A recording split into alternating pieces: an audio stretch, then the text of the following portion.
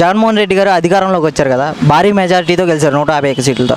ఆయన ప్రభుత్వ పనితీరు కానీ పరిపాలన కానీ ఈ మూడు నెలల కాలంలో మీకు ఎలా అనిపిస్తుంది? మాకేంటి అందరికీ అనిపిస్తుంది. ఈ పందిరు ఎట్లా ఉందో అందరికీ తెలుస్తుంది. ఈ పందిరు వల్ల అంతా అయిపోయింది మొత్తం. ఎవరికి సర్వీస్ ఉంటలా ఆటో తోలతానికి కూడా సర్వీస్ ఉంటలా ఎవరికి పనులు ఉంటలా అందరు ఇబ్బందులు పాలైపోతున్నారు. చాలా ఇబ్బందులు పడుతున్నారు అన్నమాట ఒకటి కాదు ఇసుకలే ఇసుక ఆపేశారు అన్న క్యాంటీన్లని వీళ్ళందరూ ఇసుక ఉండటం మూలంగా అందరూ పనులు చేసుకుంటాం ఉండటం మూలంగా అందరూ తిరుగుతూ ఉంటారు. ఇప్పుడు ఎవరు తిరగపోతాం మూలంగా ఏమైంది మాకు కూడా సర్వీస్ ఉంటలా మాకు పనులు ఉంటలా. ఎవరి కాళ్ళు పస్తులు ఉండాల్సి వస్తుంది అనమాట అన్న ఇప్పుడు ఆటో డ్రైవర్లకి సంవత్సరానికి పదివేలు ఇస్తానని చెప్పి హామీ ఇచ్చారు కదా అది వస్తుందంటారా? ఇంత మట్టికి ఎవరికి రాలా మరి? అది ఎవరికైనా వచ్చిందా? ఇంత మట్టికి ఎవడ వచ్చిందని ఎవడైతే చెప్పలే అసలు? పదివేలు కాదు కదా పది రూపాయలు కూడా ఇవ్వాలి మాకైతే. అది. ఇప్పుడు దాకా అయితే ఆయన అధికారంలో వచ్చిన తర్వాత అయినా కానీ అధికారంలో రాకముందలైనా కానీ ఒక మంచి పని చేసింది అయితే లేదు నాకు తెలిసి. అదే అదే అంతే ఇంకేం లేదు. ఓకే అన్న ఇప్పుడు పోలవరం రివర్స్ టెండింగ్ వెళ్తుంటే హైకోర్టు స్టే విధించింది కదా దీని పట్ల మీ అభిప్రాయం ఏంటి? పోలవరం మంచి పనే కదా దాన్ని ఆపుకోవాల్సిన పనే ఉంది వాళ్ళకి. దానివల్ల అందరికి ఉపయోగపడే పనేగా. అదే ఆపుకోవడానికి వీళ్ళు వీళ్ళు కాంట్రాక్టులు తీసుకుని కొత్తగా వీళ్ళు కాంట్రాక్టులు తీసుకుని దాంట్లో సొమ్ము మిగుల్చుకోవడానికి చేసే పనులు ఇవన్నీ అంతే. అన్న ఇప్పుడు అమరావతి రాజధాని గురించి బొత్స సత్యనారాయణ గారు అన్నారు. ఇదంతా ముంపు ప్రాంతం. ఇక్కడ రాజధాని ఉంచాలా ఉంచకూడదు అని చెప్పేసి ఆరోపణలు చేసి మళ్ళీ నా వ్యాఖ్యలు నేను సమర్థించుకుంటున్నానని చెప్పి అన్నారు. దీని పట్ల మీ అభిప్రాయం ఆల్రెడీ అమరావతి పనులు సగం పనులు జరిగిపోయినాయి. మళ్ళీ దీన్ని మార్చి వీళ్ళు కాంట్రాక్ట్లన్నీ మిగుల్చుకోవడానికి ఇప్పుడు వీళ్ళు ఖర్చు పెట్టారు కదా డబ్బు. ఆ డబ్బుని వెనక రప్పించుకోవడానికి చేసే పనులు ఇవన్నీ. ఇక్కడ ఇక్కడ నుంచి అమరావతి మారుతారు. మళ్ళీ ఇప్పటికి నాలుగు సార్లు అన్నారు. కాకినాడ విజయనగరం గుంటూరు అని కడప అని మూడు నాలుగు సార్లు అన్నారు. ఇప్పుడు ఒకదానికే దిక్కు దివ్వడం లేదు. మళ్ళీ నాలుగు రాజధాని ఏం చేస్తారు వీళ్ళు? మళ్ళీ కొనసాగుతుందంటారా? రాజధాని నిర్మాణం. కొనసాగితేనే అందరికి బాగుంటుంది. ఇప్పుడు ఇక్కడ దా- అంతా చాలా వరకు రన్నింగ్ జరుగుతుంది. ఇంతవరకు విజయవాడ ఎట్టా ఉందో ఇప్పుడు విజయవాడ ఎట్టా ఉందో చాలా మందికి తెలుసు. అదోనా అది విజయవాడ విజయవాడలో అసలు చాలా పనులు అన్నీ ఆగిపోయి అంతమంది వరుస నుంచి దగ్గర దగ్గర ముప్పై వేల మంది ఎంతోమంది వచ్చి పనులు చేసుకునేవాళ్ళు రాజ రాజధాని నిర్మాణం కోసం. ఇప్పుడు ఒక్క లేడు అసలు. అదంతా ఒక అడవి అడవి ప్రాంతంలో తయారైంది. మాకు ఇంతవరకు చంద్రబాబు నాయుడు పరిపాలనలో అసలు నేనేంటి ఏం అవ్వట్లేదు అసలు బాగా ఇబ్బంది పడుతున్నాను నేను డిగ్రీ చేశా. డిగ్రీ చేసి ఆటో డ్రైవర్ తోలుతా ఏంటి ఏం అవ్వట్లేదు? నిరుద్యోగ రెండు వేలు ఇస్తాడు వెయ్యి రూపాయలు ఇచ్చాడని నేను బాధపడ్డా. ఇప్పుడు ఈయన వచ్చిన తర్వాత వెయ్యి రూపాయలు కూడా అట్లా అది మా బాధలు అట్లా అనమాట అన్న అన్న ఇప్పుడు గ్రామ వాలంటీర్లు తీసుకొచ్చారు కదా. అందులో డిగ్రీ చేసిన వాళ్ళు కూడా తీసుకుంటున్నారు. పైగా చాలామంది అంటున్నారు వైఎస్ఆర్సీపీ పార్టీ అభిమానులనే వాళ్ళ కార్యకర్తలు ఉన్న ఎంప్లాయీస్నే తీసుకుంటున్నారు అని అంటున్నారు. దీని పట్ల మీ అభిప్రాయం ఏంటి? ఇప్పుడు కష్టపడ్డారో కష్టపడిన వాళ్ళకి ఇస్తున్నారో ఏమో మాకు మనకైతే తెలియదు కానీ ఐదు వేల రూపాయల కోసం వీళ్ళైతే ఎన్నాళ్ళు చేయరు నాకు తెలిసి. చేస్తే మా చేస్తే రెండు మూడు నెలలు కూడా చేయరు నాకు తెలిసి. అది ఎంతవరకు చేస్తారు వీళ్ళు? రోడ్ల అమ్మడి తిరుగుతా ఐదు వేల కోసం ఎవడో చేయడు. ఇప్పుడు ఏ పనికి వెళ్ళినా కానీ ఐదు వేలు ఎవరికి చాలవు. ఎందుకు చాలవు? ఐదు వేల రూపాయలు అనేది ఎవరికి ఎందుకు చాలవు? ఐదు వేల రూపాయలు తీసుకొచ్చి వీళ్ళు ఏం చేస్తారు? ఏమన్నా అది అంటే ఇప్పుడు గ్రామ వాలంటీర్లు వస్తే ప్రజలు చాలామంది సోమర్థనం పెరుగుతుందని కొంతమంది ఆరోపిస్తున్నారు. దీని పట్ల మీ అభిప్రాయం జనాలు అడిగారండి వాలంటీర్లు ఇంటికి వచ్చి రేషన్ తీసుకో ఉంటాం ఇంటికి వచ్చి రేషన్ ఇవ్వండి అని అడిగారా? సన్న బియ్యం అని ఎవడ అడగలేదు కదా? మంచి బియ్యం ఇవ్వమన్నారు అంతేగాని ఇంటికి వచ్చి ఇవ్వమని అడగలేదుగా వీళ్ళు తెచ్చుకుంటారు తెచ్చుకుంటారు. దానికి ఉపయోగపడే పనులు ఇంకేమైనా వేరే ఉంటే ఇంకేమైనా చేయాలి కానీ ఇంటికి వచ్చి వాలంటీర్లు పెడతాం. ఈ జన్మభూమి కమిటీలని అనవసరంగా డబ్బులు పోగు చేస్తాం. ఈ అన్న క్యాంటీన్ అనేది పెట్టాడు ఇప్పుడు ఆపేశాడు. ఇప్పుడు ఆపేసే లెక్కన పదకొండు కోట్లు పెట్టి దానికి రంగులు వేపించాల్సిన అవసరం లేదుగా ముందలే ఆపేయచ్చుగా. అదోనా ముందలే ఆపేస్తే ఆ పదకొండు కోట్లు కూడా మిగిలేయిగా అది. ఓకే అన్న ఇప్పుడు రాజధాని నిర్మాణం గురించి ఈ బొత్స సత్యనారాయణ గారు అన్నారు. రాజధాని ఇక్కడ మీ భూములు మీరు తిరిగి తీసేసుకోండి మీకు ఇచ్చేస్తాము అని అన్నారు. దీని పట్ల మీ అభిప్రాయం? మరి ఎన్నాళ్ళు బట్టి పాపం వాళ్ళు భూములు ఇచ్చి ఖాళీగా ఉన్నారుగా మరి దానికి. ఇప్పుడు అయినా కానీ రాజధాని నిర్మాణం ఆల్రెడీ ఒకసారి రన్నింగ్ అయిన తర్వాత మళ్ళీ ఇంకో చాట జరిపిస్తా అనేది అది కరెక్ట్ కాదు అసలు. అది వేరే వేరే చాట్ల పెట్టి జనాలను ఇబ్బంది పెట్టి ఆల్రెడీ రాజధాని అయిపోయిన దాన్ని ఇంకో మళ్ళీ మార్చుకుంటూ మా ఇప్పుడు వీళ్ళ ప్రభుత్వం వచ్చింది వీళ్ళు మార్చుకుంటున్నారు. మళ్ళీ వేరే ప్రభుత్వం వస్తే వీళ్ళు వేరే వాళ్ళు మార్చుకుంటారా?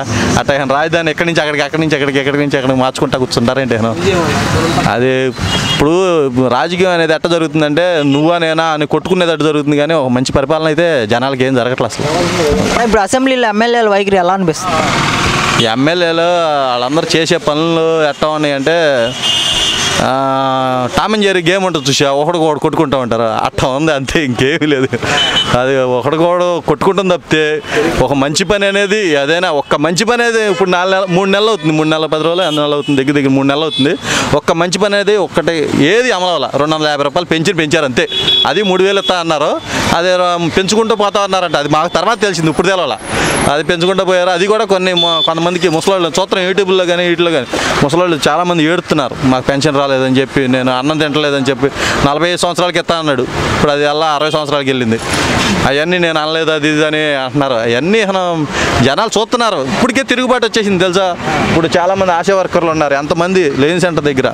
అక్కడ ధర్నా చౌక్ వచ్చి ఎంతమంది ఉన్నారు తెలుసా? వాళ్ళు ఎక్కడెక్కడో వైజాగ్ నుంచి విజయనగరం నుంచి వచ్చి ఇక్కడ ధర్నాలు చేయాల్సిన అవసరం ఏముంది? వాళ్ళ డబ్బులు వాళ్ళకి ఇస్తే ఇప్పుడు కష్టపడేవాడు సొమ్ము తినడం తప్పు అది అసలు. అది బా బా మంచిది కదా అది అసలు. ఇప్పుడు ఇప్పుడు లేనోడికి పెడితే అది తప్పేం కాదు. ఇప్పుడు మన ఆంధ్రప్రదేశ్ ఆర్థిక పరిస్థితుల కారణంగా నవరత్నాలు ఇంప్లిమెంట్ చేస్తారని మీరు అనుకుంటున్నారు? నవరత్నాలు ఎట్ట చేస్తాడన్న? ఏ విధంగా చేస్తాడన్న? నవరత్నాలు అంటే అసలు ఏ రకంగా చేస్తాడు అసలు? ఇప్పటికే నాలుగైదు ఎగిరిపోయినాయి నవరత్నాల్లో. అదేనా? ఏమీ చేయలేడన్న? జగన్ వల్ల కాదు. ఇప్పుడు మొన్న వరదలు వచ్చి మొత్తం అందరు జనాలందరూ ముంచేశాడు. అందరిని ఇప్పుడు వరదలు వచ్చినాయి అనుకో కొంచెం వాళ్ళకి తెలుసు కదా పెద్దవాళ్ళు కదా మనకంతే అంత ఐడియా లేదు కాబట్టి ఇప్పుడు నెమ్మదిగా వదులుకుంటాము ఏదో రకంగా దాన్ని చూసి వదులుకోవాలి. మొన్న హోండ చంపేశారు ఆ పడవ ఏదో మునిగిపోయిందని మొత్తం గేట్లన్నీ ఎత్తేసారంట ఒక గేటులో పడవ ఉంటే ఆ గేట్ని ఎట్టగొట్ట ఆ పడవని తెద్దామని ఎట్టగొట్ట ట్రై చేయాలి కానీ మొత్తం గేట్లన్నీ ఎత్తేసారు ఓ మనిషి కొట్టుకుపోయాడు. దానికి ఇప్పుడు ఎత్తుతున్నామని గేట్లు ఎత్తుతున్నామని ఏదో అలారం కానీ ఏదైనా ఇంటిమేషన్ ఇస్తే జనాలందరూ తప్పుకుని ఏదో ఒక ఇబ్బందులు తప్పుకుంటారు. అట్లా లేకుండా మొత్తం అన్ని ఏమైంది? జనాలందరూ ఆ మనిషి కొట్టుకుపోయాడు. ఇప్పుడు మనిషి ఓ ప్రాణం తీసినట్టే ప్రభుత్వం. ప్రభుత్వం నిర్లక్ష్య వైఖరి అది. ఇప్పుడు ఇరిగేషన్ మినిస్టర్ అనిల్ కుమార్ యాదవ్ గారు ఉన్నారు. ఆయన అంటున్నారు కృష్ణా వరదలని మేము సరిగా ఇంప్లిమెంట్ చేసాము అందుకే చాలా వరకు నష్టాన్ని నివారించగలిగాం అని అంటున్నారు. దీని పట్ల మీ అభిప్రాయం ఏంటి? చే ఆయన వల్ల అసలు ఏం కాదన్న. ఓ అర్థం తప్పితే మనిషి పెరిగాడు కానీ మెదడు పెరగల. ఓ అర్థం అంతే. ఇంకేం ఏమి చేయలేడు ఆయన. అదవుతుందా ఓ అర్థం ఏమైనా సరిపోయింది అనుకుంటున్నారా ఏంటి? ఓ వాగుతాం చిన్న పెద్ద తేడా లేకుండా అందరినీ అర్థం ఏది పడితే అది మాట్లాడితే ఇక మనం ఇంప్లిమెంట్ ఇప్పుడు ఎవడైనా సరే ఇప్పుడు నా నేను ఆడిని తిట్టాను అనుకో పాపులర్ అవుతా. మంచి చెప్తే ఎవడ పాపులర్ అవ్వడు కదా. అందుకనే ఇక ఏది పడితే అది అరిచేసి జనాలని జనాల మీదకి మెల్ట్ అయిపోదాం అనుకుంటే అట్లాగే అసలు మాట్లాడితే కుదరదు అది అది. అంటే ఇప్పుడు అంటున్నారు చాలామంది మన ప్రకాశం బ్యారేజీ నీటి నిల్వ సామర్థ్యం మూడు పాయింట్ ఐదు టీఎంసీలు. కానీ వాళ్ళు నాలుగు టీఎంసీలు వచ్చేదాకా ఆపేరు. కావాలనే చంద్రబాబు గారు ఇల్లు ముంచడానికి అని కొందరు ఆరోపిస్తున్నారు. దీని పట్ల మీ అభిప్రాయం ఏంటి? కేవలం వీళ్ళు చేసిన పనులు అదే ఆ రాజధాని ప్రాంతం మార్చాలంటే మొత్తం వరద మొత్తం మునిగిపోయింది అనుకో. ఇది ఇక్కడ మునిగిపోద్ది? వేరే చోటకి మార్చుకుందాం అనే అంటే అప్పుడు అన్నాం అనుకో మునిగిపోయిన తర్వాత అన్నాం అనుకో మార్చుకోవాలి ఇది మునిగిపోద్ది నిజంగానే అని జనాల్లో తాట వచ్చింది కదా. అందుకనే కేవలం అట్లా చేశారు వాళ్ళు. ముంచడానికే కొన్నాళ్ళు ఆపి ఇప్పుడు ఫస్ట్ అక్కడ వరదలు వస్తున్నాయండి. శ్రీశైలంలో నాగార్జున సాగర్లో వరదలు వస్తున్నాయి. ఇప్పుడు నెమ్మదిగా ఇక్కడ స్లో చేసుకుంటారా? ఇప్పుడు వరద పెంచుకునేదాకా ఎందుకు ఉంచుకుంటాం? ఇప్పుడు వరద వస్తుంది అటించి నెమ్మదిగా వదిలేసుకోవాలిగా. ఒకేసారి వదులుకోవాల్సిన పరిస్థితి ఏంటి? అనిల్ కుమార్ యాదవ్ గారికి అవగాహన ఉందని కొందరు కొందరేమో అవగాహన లేదు లేక ఇలా జరిగిందని కొందరు ఆరోపిస్తున్నారు. దీని అవగాహన ఉన్నవాడైతే పది రోజులు బోటు అక్కడ ఇరుక్కుపోయి ఉండేది కాదు. ఓ మనిషిని చంపేసేవాడు కాదు. అది ఓ మనిషి చచ్చిపోతానికి కారణం కేవలం అనిల్ కుమార్ యాదవే. అదేనా అది. ఓకేనా ఇప్పుడు పట్టిసీమ ప్రాజెక్ట్ ఉంది కదా అన్నయ్య పట్టిసీమ కాలువ ఇక్కడి నుంచి వెళ్తుందని మేము విన్నాము. అయితే ఈ పట్టిసీమ ప్రాజెక్ట్ గత ప్రభుత్వం నిర్మిస్తుంటే ఇప్పుడు అధికారంలో ఉన్న ప్రభుత్వం ఆనాడు ప్రతిపక్షంలో ఉండి వ్యతిరేకించింది. పట్టిసీమ వల్ల ఉపయోగాలు లేవు పట్టిసీమ వల్ల ప్రజాధనం వ్యర్థం అవుతుందని చెప్పి ఎగదాలు చేసింది. దీని పట్ల మీ అభిప్రాయం ఏంటి? అసలు పట్టిసీమ వల్ల ఉపయోగాలు ఉన్నాయంటారా పట్టిసీమ వల్ల ఉపయోగాలు చాలా ఉపయోగాలు ఉన్నాయి అన్న. జనాలకి ఎంతోమంది రైతులకు ఉపయోగపడినాయి. ఆ వాటర్ మూలంగా ఎంతో ఉపయోగపడినాయి. ఇప్పుడు ఆ పట్టిసీమే ఇప్పుడు వదిలిపెట్టి కొన్నాళ్ళు మొన్న రైతులందరూ ఇది పంటలు వేసుకోగలిగారు చాలా ఇబ్బందుల నుంచి కోలుకున్నారు. ఆ పట్టిసీమ అనేది ఉపయోగపడిద్ది. మంచినీరు అనేది వేరే దాటి నుంచి తీసుకొచ్చుకోవడం అనేది ఎవరికైనా ఎప్పటికైనా ఉపయోగపడిద్ది. అది అప్పుడేంటంటే ప్రతిపక్షంగా ఏదైనా చేయాలంటే దాన్ని ఆపడానికి ట్రై చేయాలి నేను. అది వాళ్ళు చేసే పనులు అంతే. ఇప్పుడు జగన్ గారు నేను ఒక్క మాట చెబుతున్నా మీరు ఇంత మట్టికి ఒక్క మంచి పని నేను అంత ముందర జగన్ కొట్టేసా అన్న నిజం చెబుతున్నా. జగన్కి అంత ముందర నేను ఓటేసా అంత ముందర అప్పుడే ఇలా నేను అసలు. అంత ముందు ఓటు ఎత్తే నాలుగు సంవత్సరాలు ఐదు సంవత్సరాలు ఆ చంద్రబాబు నాయుడు మీద అరుతుంది తప్పితే ఏమన్నా ఒక్క మంచి పని ఒక్క మంచి పని ఒకటే ఒకటి ఒక్క మంచి పని చేసింది నాకైతే కనపడాలి అసలు. నాకైతే విరక్తి వచ్చేసి నేను వేయలే ఓటు. అది. అంటే ఇప్పుడు ఎలా గెలిచారంటారు? నూట యాభై ఒక సీట్లతో మరి. అది అందరికీ తెలుసు అన్న. అది ట్యాంపరింగ్ అని అందరికీ తెలుసు ప్రతి ఒక్కరికి తెలుసు. ఇప్పుడు ఉన్న ఒక ఇరవై మందిని తీసుకుందాం ఇక్కడ ఉన్న వాళ్ళలో ఒక ఇరవై మందిని ఎంచుకుందాం. అన్న నువ్వు జగన్ గేసావు జగన్ గేసావు జగన్ గేసావు అని అడుగుదాం. ఇరవై మందిలో కనీసం ఒక ఐదుగురు ఆరుగురు చెబుతారు కానీ ఇరవై మంది చెప్పరు. అసలు అవన్నీ ట్యాంపరింగ్ అది. అది. ఇప్పుడు థ్యాంక్ యూ అన్న. చాలా పథకాలు అమలు చేస్తుంది. అన్ని ఇంప్లిమెంట్ చేశారు కదా. చెప్పండి. చేస్తారు? గ్యారంటీగా చేస్తారు. అన్ని పథకాలు ఏ మాత్రం ఒక్కడొకటి మిస్ చేయరు. అన్ని పథకాలు చేస్తారు. ఇప్పుడు గత ప్రభుత్వం చేసింది. ఆ డబ్బు ఉంది. ఎందుకు లేదు? రెండు లక్షల కోట్ల బడ్జెట్ ఉంది. వాటిని బట్టి చేస్తారు. లోటు బడ్జెట్ ఉందన్నారు కదా. లోటు బడ్జెట్. Load budget. గతం నుంచే ఉంది లోడ్ బడ్జెట్. ఇప్పుడు ఏం కొత్తగా కాదు కదా. అది ఉండని. ఇప్పుడు రెండు లక్షల కోట్లు చిల్లర బడ్జెట్ పెట్టారు. ఆదాయం వస్తుంది గవర్నమెంట్కి. దాన్ని బట్టి చేస్తున్నారు. సరే ఇలా అప్పులు చేసుకుంటూ వెళ్ళిపోతే మన ఆంధ్రప్రదేశ్ అసలుకి అభివృద్ధి చెందుతుందా చెందదంటారు అసలుకి? గత ప్రభుత్వం రెండు లక్షల కోట్లు అప్పు చేసింది. ఈ ప్రభుత్వం కొద్దిగా తగ్గిస్తుంది అసలు ఏం ఖర్చులు చేస్తుంది? చక్కగా మంచిగా పరిపాలన చేస్తుంది. ఏం అప్పులు లేకుండా. ఏం చేశారండి? అసలు పరిపాలనలో అసలు ఈ మూడు నెలల కాలం అసలు ఏం చేశారు? ఎందుకు ఇలా? ముసలాళ్ళకి వాళ్ళకి పెన్షన్ పెంచారు. రెండు లక్షల దగ్గర దగ్గర మూడు లక్షల మంది వాలంటీర్లు పెట్టుకున్నారు. ఏం చేయలేదు? ఈ ప్రభుత్వం అన్ని మంచిగా చేస్తుంది. సార్ ఇప్పుడు నలభై ఐదేళ్ళకే పింఛన్ ఇస్తా అన్నారు కదా. నలభై ఐదు వేలకి? నలభై ఐదు వేల నలభై ఐదు సంవత్సరాలు ఎవరికంటే పెన్షన్ ఇచ్చేది కుల వృత్తుల వారికే. అంతేగాని అందరికి కాదు. అందరికీ అరవై సంవత్సరాలకు పెన్షన్ ఇస్తారంట. కుల వృత్తుల వారికే నలభై ఐదు ఏళ్ళకి ఇస్తారు అది. సరే గ్రామ వాలంటీర్లు నియమించారంటున్నారు ఆ, అసలుకి ఇంతకుముందు డీలర్స్ ఉన్నారు కదా డీలర్స్కి వెళ్ళానేమో. ఒక రేషన్ బియ్యం గురించే కాదుగా అది. వాలంటీర్లు నిర్ణయించింది. ఆ, ఈ కుటుంబంలో ఉన్న సమస్యలు అన్నీ తెలుసుకొని గవర్నమెంట్కి తెలియజేయడానికి కోసమే వాలంటీర్ వ్యవస్థను తీసుకొచ్చింది. ఇప్పుడు విఆర్ఓ విఆర్ఏలు ఎందుకు ఉన్నట్టు మరి? ఆ? విఆర్ఓ విఆర్ఏలు ఎందుకు ఉన్నట్టు? వాళ్ళు రెవెన్యూ వాళ్ళు వాళ్ళు రెవెన్యూ డిపార్ట్మెంట్ చూసుకుంటారు. అంతేగాని అన్ని చోట్ల వాళ్ళే. చేస్తున్నారు కదా. ఇప్పుడు. గ్రామ వాలంటీర్లు చేస్తున్నారు కదా. రెవెన్యూ చేసేవి కూడా వాళ్ళు చేస్తున్నారు కదా. తర్వాత ప్ర- వాళ్ళని వేరే చోటకి మారుస్తారేమో.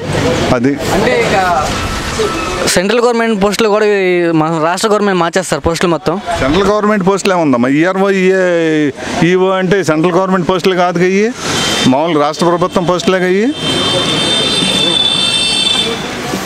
ఇప్పుడు అంటే ఆశా వర్కర్లు కూడా చేస్తారు కదా. వర్కర్లకి జీతాలు పదివేల రూపాయలు పెంచారు. రేపు సెప్టెంబర్లో వాళ్ళ జీతాలు వాళ్ళకి పేమెంట్ చెల్లిస్తారు. అంటే ఇప్పుడు వాళ్ళ ప్రభుత్వ ఉద్యోగ ఉద్యో వాళ్ళది ప్రభుత్వ ఉద్యోగం అని చెప్పేసి వాళ్ళ రేషన్ కార్డు కూడా తొలగించేశారు. దీని పట్ల ఉంటారు మరి వాళ్ళకి పదివేల రూపాయలు ఇస్తున్నారు కాబట్టి గవర్నమెంట్ ఒక్కసారే మూడు వేలు దాన్ని పదివేలు చేశారు. కాబట్టి తొలగించినా కానీ ఏం అభ్యంతరం లేదు. అంటే నిరుపేదలు ఉంటారు కదా అందులో. నిరుపేదలకు ఉపయోగపడుద్దని అలాంటి వాళ్ళందరి రేషన్ కార్డులు తొలగిస్తున్నారు అది? వాళ్ళ శాలరీని బట్టి తొలగిస్తారు. ఎవరిని వాళ్ళకి ఆ, ప్రభుత్వం రూల్స్ ఎంత ఉందో మరి దాన్ని బట్టి తొలగి వాళ్ళు ఉంచాలనుకుంటే ఉంచుతారు తొలగియాలనుకుంటే ఏంటంటే వాళ్ళకి ఇయర్ వాళ్ళకి వాళ్ళ జీతం తక్కువగా ఏడు వేలు ఎంత ఉంటుంది అనుకుంటా వీళ్ళకేమో పదివేలు ఇస్తున్నారు వీళ్ళకి తొలగిస్తే ఈఆర్ఓకి ఎనభై వేలా ఈఆర్ఓకి ఎనభై వేలు ఎందుకు ఉంటుందమ్మా శాలరీ ఎక్కడ